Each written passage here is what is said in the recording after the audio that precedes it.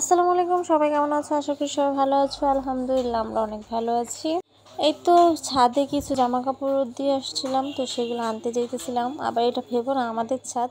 তো আমার শ্বশুর আব্বু যেখানে কাজ করে, সেখানে ছাদ। তো ওইখান থেকেই আনতে যাইতেছিলাম। আমাদের ছাদ আমরা উঠি না।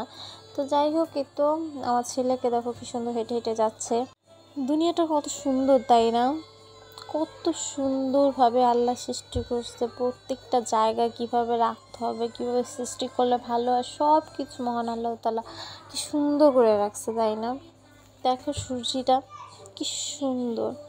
যাক, সবাই ভালো থাকুক এই দুনিয়ার মধ্যে।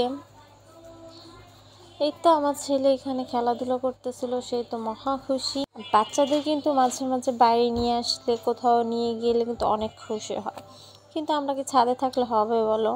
রান্না বান্না করে তো খেতে হবে। তো রাত্রেবেলা আমার হাজব্যান্ড বলতেছিল, সিম দিয়ে আলুতে একটা তরকারি রান্না করবে। তো সেই রান্না করতেছিল, আমি সেই রেসিপিটা তোমাদের সাথে শেয়ার করতে পারিনি তেমনভাবে। তো খেতে কিন্তু অনেক মজার ছিল, আলহামদুলিল্লাহ। তো স্বামী স্ত্রী দুজন কিন্তু খারাপ কোনো কিছু না।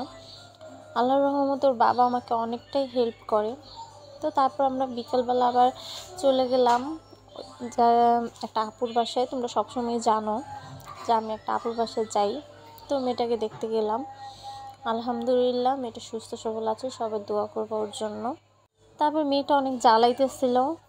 তো যাই হোক, নাস্তা ছিল এগুলো। তবে চাও ছিল, কিন্তু আমরা তো চা খেয়ে গেছি, এর জন্য খাওয়া হয়নি। তো দেখো আমার এই শখের একটা মগ ভেঙে ফেলছে আমার ছেলে। তোমরা সবাই জানো এই মগটা কে দিছে। আমার ভাই বউ আমাকে গিফট করছিল। তারপরে এই তো দেখো এক গাদা রসুন নিয়ে আসছে আমার শ্বশুর। বাড়িতে যাবে, এর জন্য বলল ব্লেন্ডার করে দিতে।